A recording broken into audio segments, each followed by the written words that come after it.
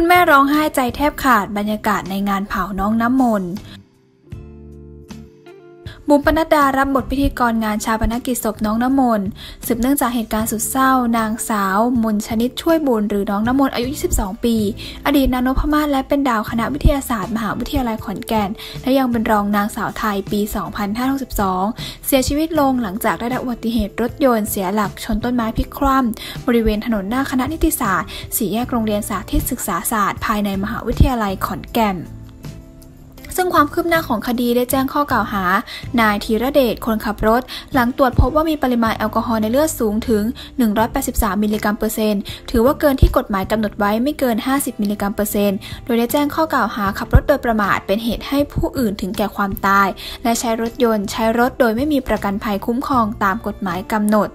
ล่าสุดทางหน้าคุณแม่ของน้องน้ำมนต์ได้โพสต์ Facebook ว่าทางครอบครัวและญาติทุกคนขอขอบคุณคุณบุ๋ม ดรปนัดดาวงผู้ดี นางสาวไทยประจำปี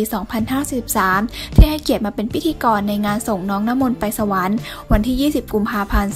2564 นี้ น้ำมนต์เป็นบุญของหนูนะลูกที่มีพี่ๆรักและเอ็นดูหนูกันมากมายเหลือเกิน นางฟ้าของแม่